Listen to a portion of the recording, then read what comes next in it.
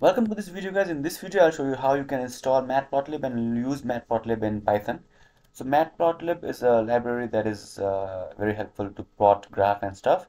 So I have the sample code here that is just you know plotting a graph that is just plotting sine wave to be exact. If I click here and run this project as you can see I get this error that says no module named matplotlib.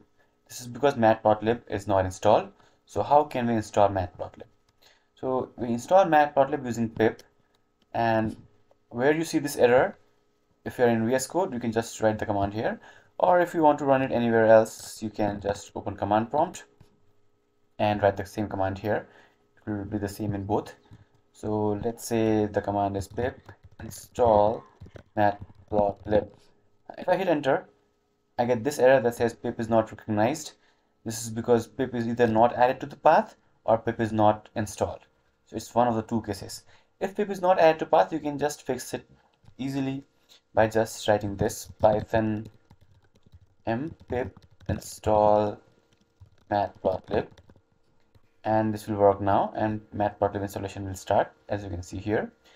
But if this is also giving you the same error that says uh, module pip not found or not installed check the link in the description below. It will show you how you can install pip.